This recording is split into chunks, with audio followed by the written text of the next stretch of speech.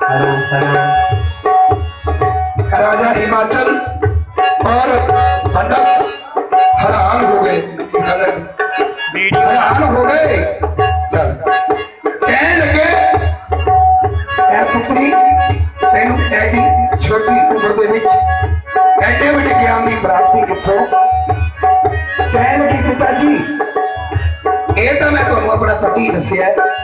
ਮੈਨੂੰ ਇਹ ਵੀ ਪਤਾ ਹੈ ਮੈਂ ਤਿੰਨ ਯੁੱਗ ਕੁਆਰੀ ਕਰ ਸਕਦੀ ਆ ਕਿਹੜਾ ਕਿਹੜਾ ਜੀ? ਦੁਆਪਰ ਤ੍ਰੇਤਾ ਸਤਯੁਗ ਇੱਕ ਹੋਰ ਯੁੱਗ ਹੋਣਾ ਹੈ ਕਲ ਯੁੱਗ ਜਿਹੜਾ ਚੱਲ ਰਿਹਾ ਹੈ, ਇਹਦੇ ਵਿੱਚ ਮੇਰੇ ਤੋਂ ਕੁਆਰੀ ਨਹੀਂ ਰਹੀ ਜਾਣਾ। ਕਲ ਯੁੱਗ ਵਿੱਚ ਅਤਿਆਚਾਰ ਹੋਣੇ ਹਨ। ਲਓ ਜੀ ਕਲ ਦਾ ਦ੍ਰਿਸ਼। ਮਾਤਾ ਪਾਰਵਤੀ, ਆਪਣੇ ਪਿਤਾ ਅਤੇ ਪੜਵਾ ਨੂੰ ਕੀ ਦੱਸਦੀ ਹੈ। ਬੋਲੀ ਗੌਰ ਜਾ ਸਮੁੰਦਰ ਪਿੱਛੀ। பதிச்சுண்டு ஆயிரக்கணக்கான